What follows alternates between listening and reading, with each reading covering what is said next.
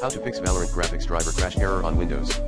1. Make sure your PC has required graphic memory. 2.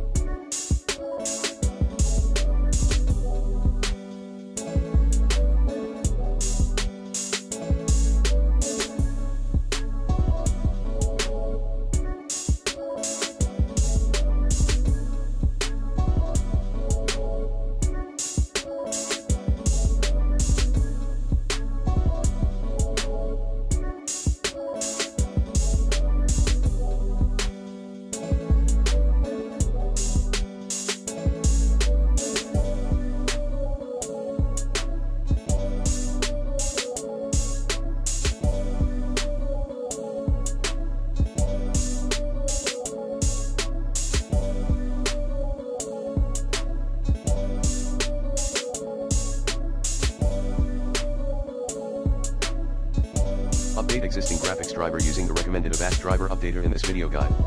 3. Update DirectX. 4. Set your game to windowed mode. 5. Turn off VSync. 6. Terminate unnecessary processes in the background, via WTM. 7.